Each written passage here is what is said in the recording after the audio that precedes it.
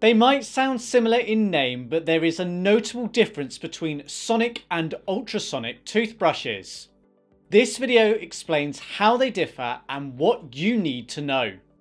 For those who want to simply know which is best, it is the sonic toothbrushes we recommend.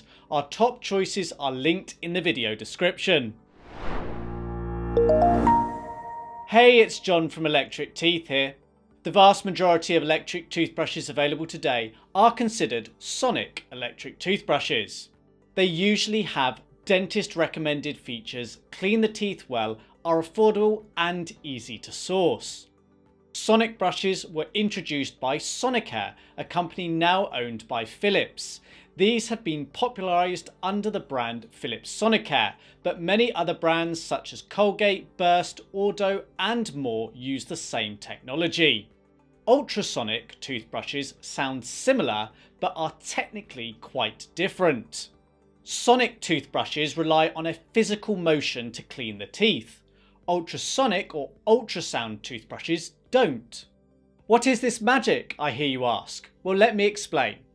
We brush or clean our teeth to remove plaque. Plaque is formed by bacteria, fueled by the food and drink we consume.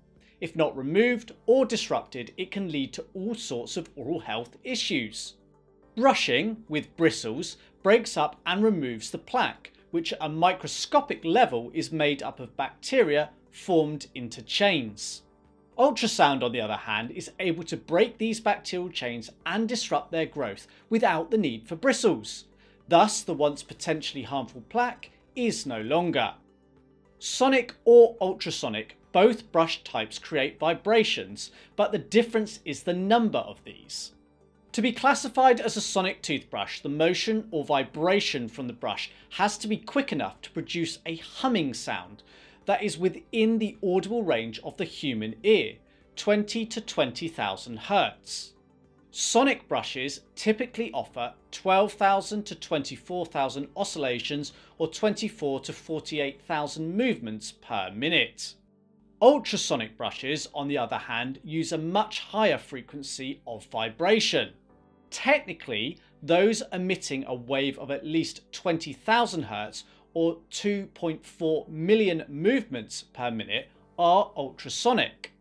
This frequency is too high to be heard by the human ear. They are therefore silent with no humming sound like sonic toothbrushes. But the most common frequency for ultrasound toothbrushes is 1.6 MHz or 192 million movements per minute. These high frequency waves are low in amplitude, therefore they can damage the bonds between bacteria without a bristle physically touching the area. It works to a depth of 5mm below the gum line. Although clinically proven, studies have shown that in most instances the difference between a regular sonic toothbrush and an ultrasonic one isn't clinically significant. So, although technically you might not need bristles with an ultrasonic toothbrush, most do in fact come with the more common sonic vibrations too. This provides additional physical or mechanical cleaning via a sweeping motion of the bristles, Doing so removes food particles and bacterial chain remnants. It ultimately helps ensure the best results are achieved and does away with the strange sensation of not having to brush like we have and continue to be taught. Interestingly, the M8S ultrasonic toothbrush instructions specifically state to use and move the brush like you would a regular manual toothbrush in small circular motions. The market is dominated by sonic toothbrushes. This is because they are much cheaper and easier to produce. True ultrasonic toothbrushes are quite rare. Megasonex and Emmi-dent are the major manufacturers of these. They are normally considerably more expensive too. Whilst it does vary, a typical sonic toothbrush is going to be 2 to 4 times cheaper than an ultrasonic brush. A good sonic toothbrush might cost $70 or less. An ultrasonic toothbrush is going to cost $150 or more usually. Therefore, if you see any other brands claiming their brush is ultrasonic and selling it for less, do some more research to check it is really what is being claimed.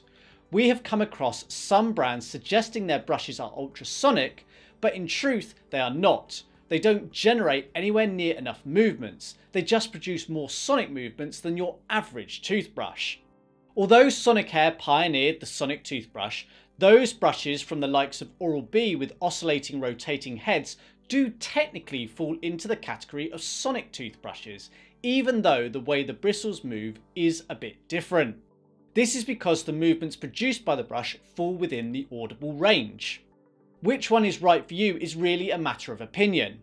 Ultrasonic is considered by some to be better because it's non-abrasive as you don't rely on the bristles for the deep cleaning, and it can in principle reach areas regular brushing doesn't.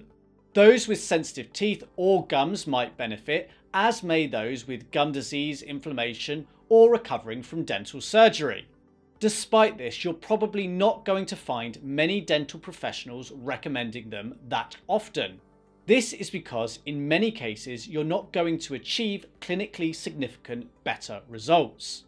Given you have to pay quite a bit more to acquire one, you're likely better off opting for one of our top recommended Sonic toothbrushes, linked below and demonstrated in the next video.